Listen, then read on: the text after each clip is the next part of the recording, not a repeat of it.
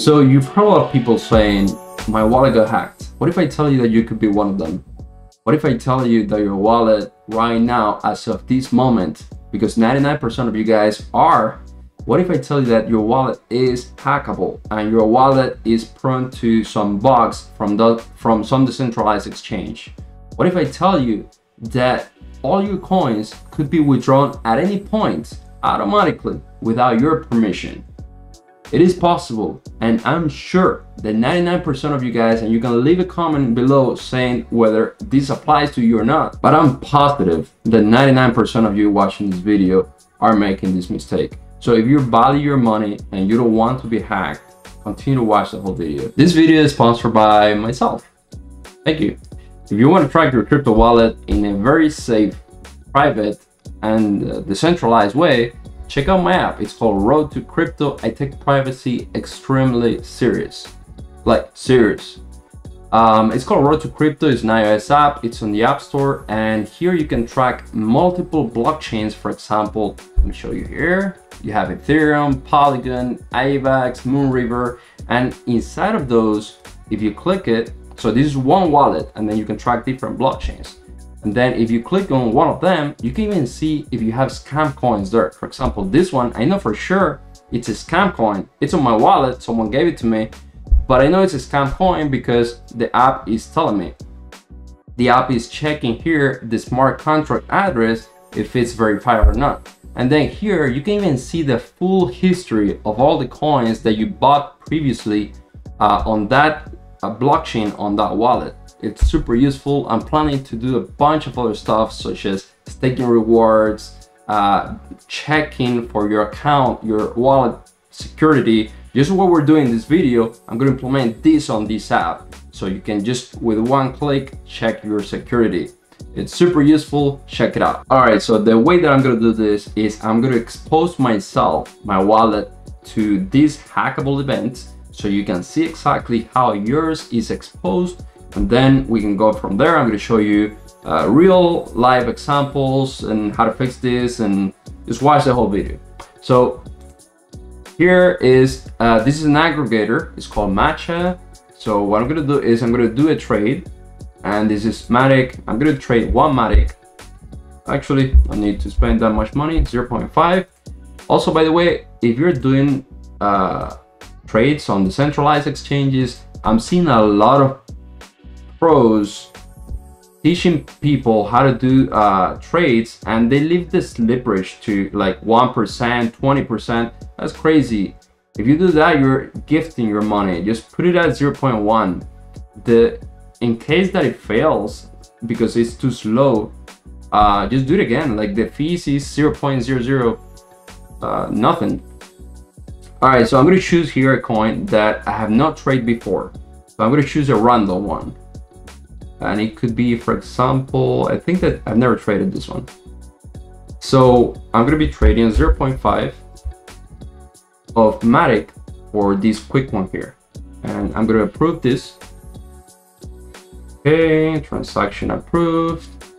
So nothing out of the ordinary here. Just confirming the transaction. Now, when I try to trade it backwards, you'll see what happens. So quick. Now I'm going to sell this quick for my Matic. And I'm going to review the order. And look, it's going to ask me for approval. So I'm going to click approve and look what happens now. So allow this website Matcha, which is a reputable website. It's pretty good. It's uh, from 0x, the protocol or the uh, whatever. So it's asking here for the uh, for this permission and look what it's automatically uh, as default unlimited. So you're basically allowing this website to spend unlimited amount of coins unlimited amount of, of uh, this coin from your wallet. And this usually a lot of people just confirm the transaction because they don't even bother to look here. I was reading that if you do this unlimited here, the uh, the website or whoever tries to hack the website and define a vulnerability on the contract or whatever the case is, uh, I was reading that they have access to all your coins. To me, it doesn't make sense. To me, it makes sense that it's only this specific coin. But I was reading on some other forums and websites that they have access to all your coins. It's just um, something to keep in mind. So this is what I do. I go here to custom and then I put the amount that I want to transfer. So this is my balance. This is what I want to sell. So I would just put it here, paste, save, and then confirm. Now, however, I'm gonna go over uh, something here. Let me approve with unlimited so you can see exactly how your wallets are exposed and then how you can fix it. So I'm going to uh, leave it as unlimited and then just approve. And that's it. Just going to approve it. And basically what I allow the website, this website to do is just have control over my wallet. Like they can do with my coins whatever they want. Now, many of these exchanges, decentralized exchanges are doing this because it's easier for the user to uh, swap back and forth without asking for reapproval. Because when you trade a coin, you're basically doing two approvals. The first one is this one to allow the exchange to spend your coins uh, to execute a smart contract. And then the second one is to actually execute the trade. Now I want to tell you really quick why you should not allow this unlimited approval. Even though it's very, very convenient for you to click that unlimited approval so you don't have to go twice clicking on approve and spend more coins. This is especially uh, the case on Uniswap on, on Ethereum because the, the high fees is enormous. So if you have to do two approvals, you're gonna be spending like $120 just approving that trade. It's insane, I know. But this way guarantees you your security because if you're going away from exchanges trying to put your coins safely in a wallet, then do it the right way. Then don't do this unlimited approval because any exchange, Uniswap, SushiSwap, Matcha, 1inch, all of them can withdraw your money at any time. I'm not saying that they they're going to, I'm saying that they could. Also, if hacker hacks these websites or whatever the, the execution of the smart contracts, this hacker could maliciously uh, withdraw all your coins without the approval of uh, the exchanges and it would not be the fault of the exchange. All right, so let's cover now a real world example of what happened in 2020 when one of the projects, uh, specifically this one, Meow, came out, and it was this token, and everyone started with FOMO and everything else, just like today, just like today, like you know, people are FOMOing with uh, exchanges and uh, meme coins and everything else. So this this website came out. It was a, a, a DEX as well, and all you had to do was unlock your wallet and then unlock your your your meow and everything else, and they would ask you for unlimited spending. Many people got hacked because of this, because they were allowing this uh, website, this exchange, to withdraw unlimited amount of coins. And they just did the same thing that we did before with uh, the token swap. They just did it here in this website. So when you're doing this kind of stuff, be careful. Don't allow this unlimited spending do just, especially in these kind of websites, do just the, the exact amount that you want to do. Now, if you do this amount, what you're doing is just a single transaction, just allowing the website to do one single transaction to execute through the smart contract. Before we continue, I want to correct something that I said on my previous video. And that is that uh, when you're in different websites, uh, they have all access to your MetaMask uh, wallet, even though it's, you know, if it's unlocked, I said that they would have access to your MetaMask wallet. I was doing a little research and uh, I believe that this is not the case. However, everything else that I said is correct. Uh, I do still recommend having different browsers as you're seeing here. I have this browser, Chrome, which I could have multiple uh, profiles. And I also have my main browser, that's fine.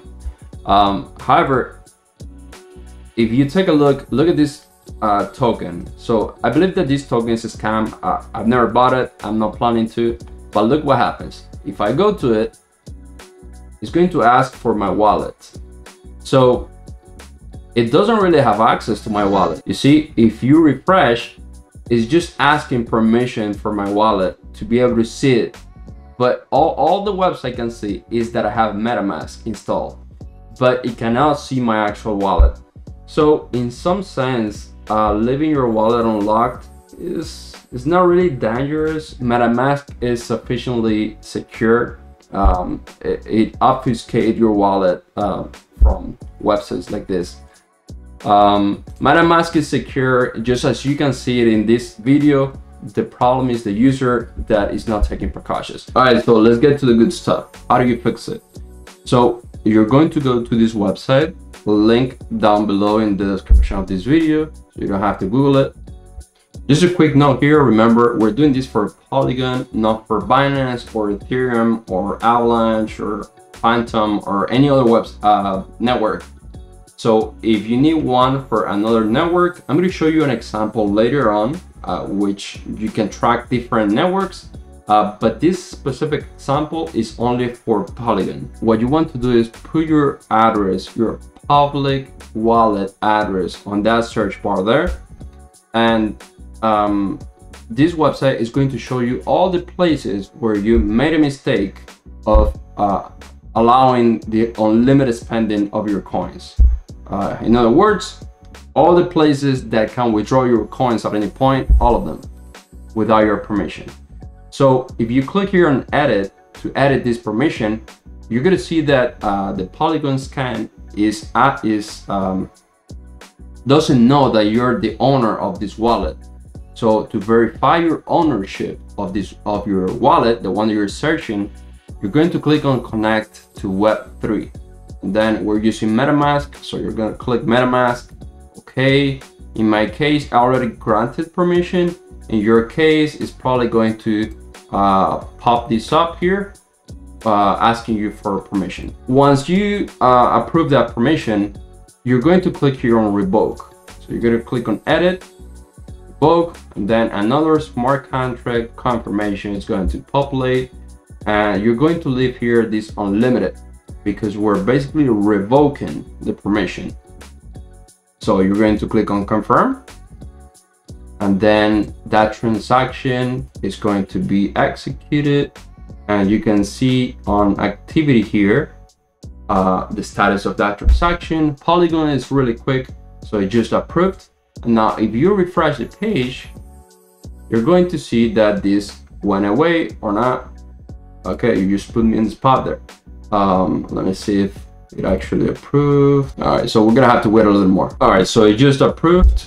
Uh, if I click refresh now, searching for my wallet address, uh, you're gonna see there that there is no result, meaning that no website has access to my wallet.